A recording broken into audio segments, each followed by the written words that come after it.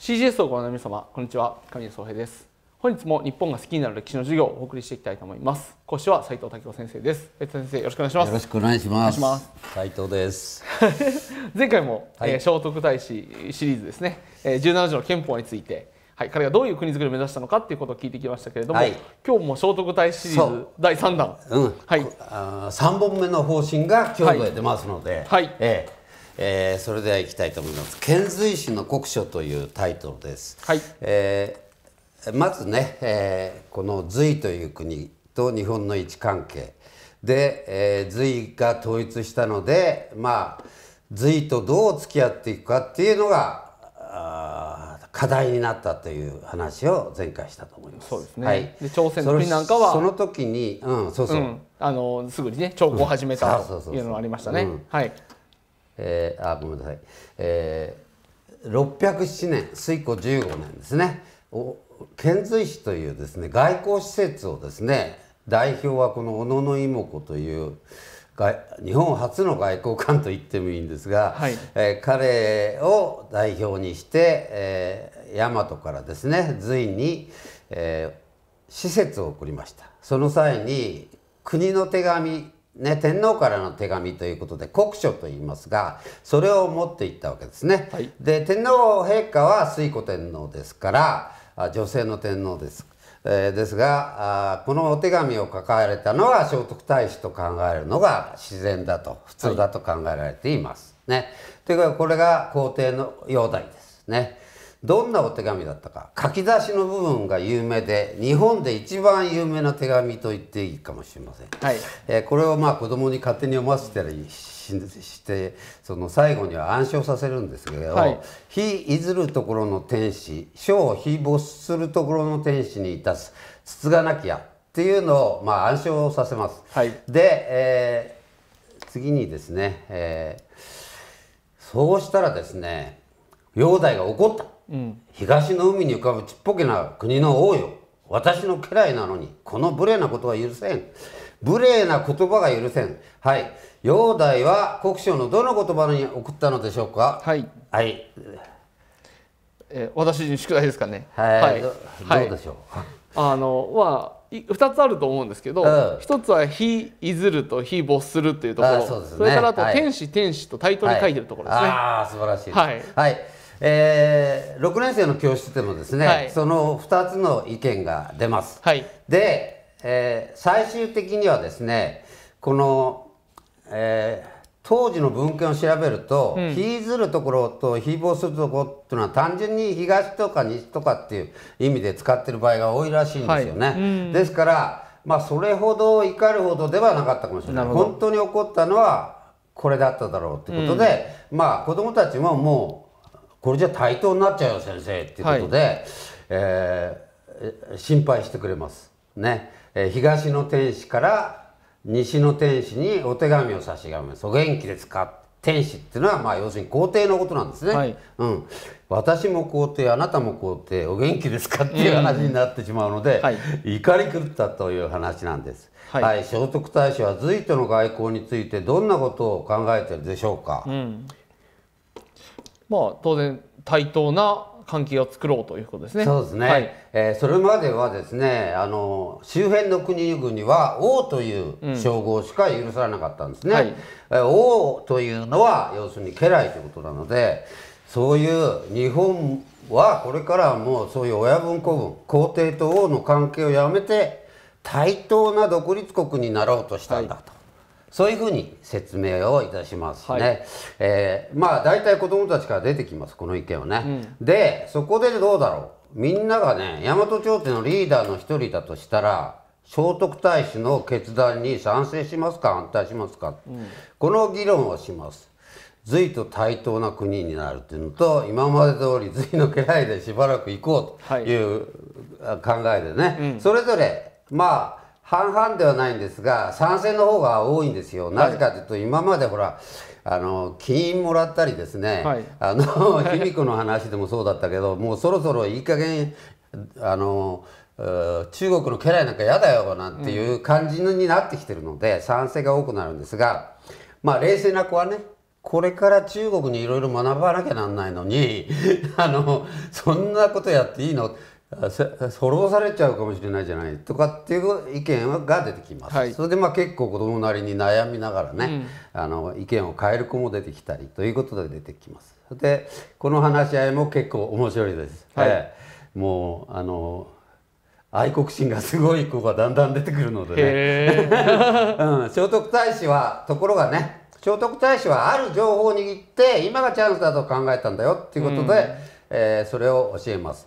えー、隋はですねあの中国シナっていうのはあの統一するとですねしばらくの間外へとにかく侵略を始める国なんですよねもともとね。うん、でこの時もそうで航空に侵略したんですが1回目が失敗だったっていうことをですねかなりひどい失敗だったことってことを聖徳太子はあ情報を持っていた可能性が強いんですね。はいはい、であこれはいけるなと踏んだんじゃないかっていうふうに子どもたちに教えます。うん、すると聖徳太子すごいな情報が大事なんだという感じになります。でさて煬帝の怒りを知った太子は翌年も国書を送ったんです。はい、はい。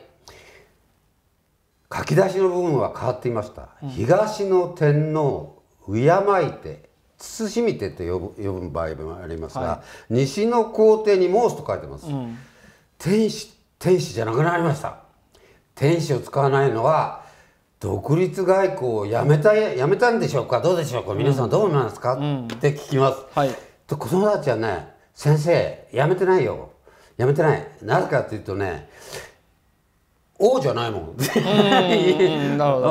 うんでだんだんだんだん今までの知識が積み重なっていくので、はい、前に学習したことが生きてくるわけね、うん、でそういう歴史が物語があるからこそなんですよね、はい、うん、算数や理科ではね前に学習したことを大事にするんですけども、はい、まあここでもそういうことを言っています、うん、はい。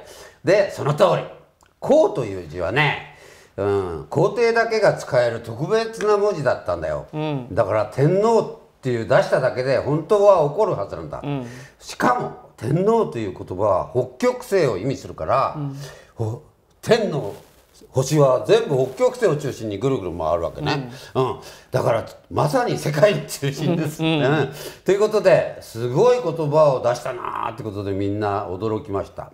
でなんとなくこの天皇って言葉がねそのままその後定着していって、えー、中国はですね形の上でも対等な中国とは対等な国になったんだよっていうことを教えるわけなんですね。はい、はい、それでそれ以後長い間ずっと歴史はね歴史上長い間日本は皇帝の家臣を意味する王の称号を使わず一度も使ったことがない。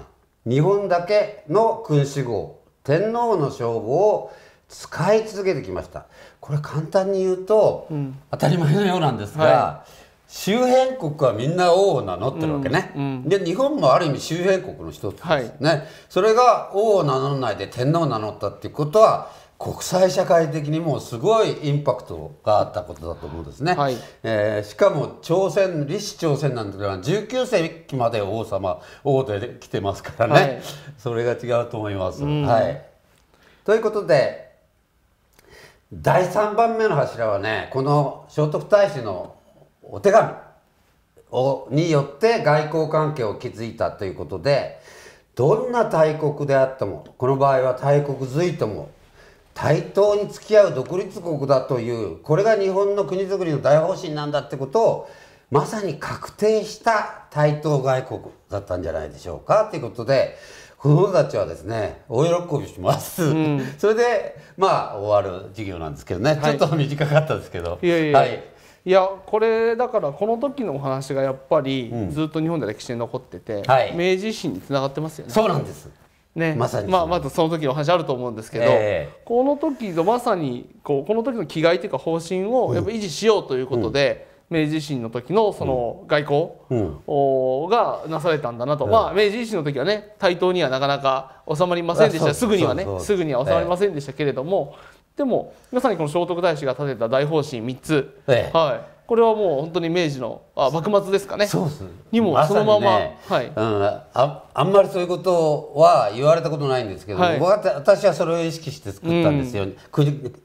ま国づくりが2回あったっていうストーリーなわけですね、はいうん。はい、そうするとまさにこの1回目の国づくりの方針と、うん、この2回目の近代の国づくりの方針がまさにぴったりなんですよ。うん、である段階で子どもたちが「先生これ聖徳太子と似てない?」とかってあの言い出すんですね。なるほど。うん、僕はね、逆にこの話を聞いて僕も2回って言うんですけど、僕は実は天武天皇の時だというふうに捉えてたんですよ。ええ、天智天武の時、ええ、天武もそうですね。そうですよね。だから多分まあでも聖徳太子が古いので、もうこの時からのずっと方針があると。そうそうだからまあそういう意味で言うと天武天皇は絶対必要なんですが、うん、実は指導要領に出てくる42人の中に入ってないので。はいうん授業で取り上げられないんですよ。本当は次のあ授業でまあ名前だけは出すんですけどね。うん、人心の乱なんかも小学校ではちょっと取り上げられない感じ、ね、なるほどね、うん、ですからまさにそう外圧ですよね、うん、隋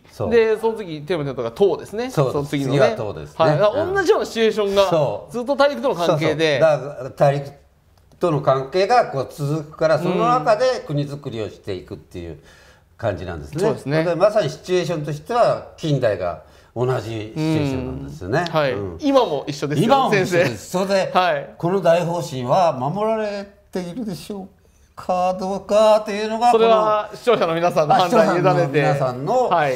えー、ご判断にお任せしたいと思いますが。それでも子供にそういう宿題っていうかね考えさせてもいいかもしれないですね。それはね、うん、あの最後の,、あのバトンを受けてる最後の授業のところで、はい、あの聖徳太子の三大方針はどうだろうねっていうのをちょっとやります。ねえー、なるほど。ただいろんな意見出てきますけどね。はい、えー、はい、ありがとうございます。もうこの三回わたってのこの聖徳太子の大方針いいですね。いいですはい、私こういう整理の仕方を初めて 聞きました。しかも具体的なシーツにも届いて方針がまさに出てくるから、はいうん、そうですね。そうです、うん、あのもちろん彼の業績っていうのは頭入ってましたけど、えこの3つを三大方針としてこうしっかりですねピックアップして示すっていうのは、すごく今後のねあのさっき言ったあの国づくりの、うん、その、まあ、白村江の戦いの後とかですね、えー、明治維新とか、え。ー、まあ、現行の時もそうですよね。そうです。ね、だからそういうプライドがあるからね、はい、つながってきてるわけですよね。うん、うん、だからその発端がここだと思うんですね、はい、私は。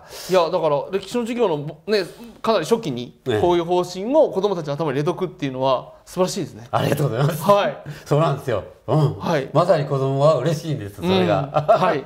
ありがとうございました。はい、また次回、えー、これで聖徳太子、えー、一回終わりましてですかね。あ、もう一回あります。もう一回あるんですか？ええちょっと遣隋使のことをちゃん、遣隋使って言葉がテストに出てくるもんだから、遣隋使って言葉をちょっと教えることを考えてもう一時間、要するにまぜ三大方針をまとめる授業っていうのを作ったんです。なるほど。わ、えかりました。じゃあ引き続き聖徳太子シリーズの次回も、もう一回やらせてください。お願いします。はい、今日どうもありがとうございました。ありがとうございました。